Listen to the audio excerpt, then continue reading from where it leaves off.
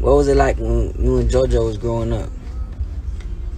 Uh, I think like we had good chemistry, man. Like we used to be, um, we used to be on the same shit, you know. Like I ain't gonna lie, we was a, we was a problem, man. Like we was a, if Shorty was here, we would be a problem, G. Cause I know how I am and I know how he was, and we would just been ourselves. But whatever you like, you would have found it in one of us. You know what I'm saying?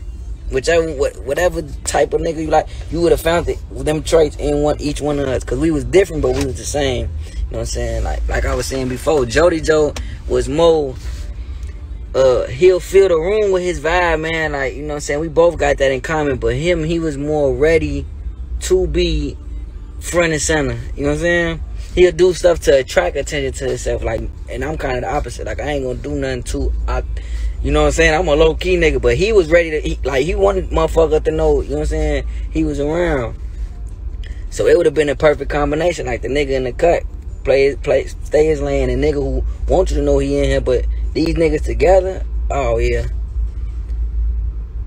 Yeah, to answer your question though, do I still play 2K? Yeah, a little bit. You gotta pull up and do a podcast. I was thinking about getting into podcasts and pulling up and doing some, you know what I'm saying, some, some kind of like Money Man. Like Money Man is a good nigga, man. He get on there and he drop jewels to help the people, you know what I'm saying, touch a dollar or two.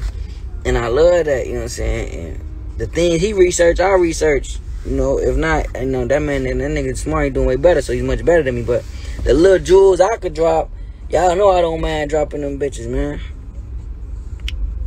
Uh, I respect you, because everyone, everything y'all went through, y'all never changed how y'all felt and stayed down. Undertaker, yeah, for sure. What's up with you and Kevin on the song? Uh, it's whatever, man. Shit, crazy, bro. Smylez had the hardest beats. He had the hardest beats, the hardest production, and the hardest fucking engineering, G. All three of them. Like a real producer, G. Like nigga be saying they producers, but they don't want to be producing. Like they don't be telling nigga, hey, that shit sound weak. Shorty do it like this. You know what I'm saying? That's a real producer. That's that's a producer that at least I like. I miss my nigga G, for sure. They like nigga don't even be wanting to get in the stool with some of these niggas, and it's it's it's unmotivating me to do music because my nigga is not the same, right?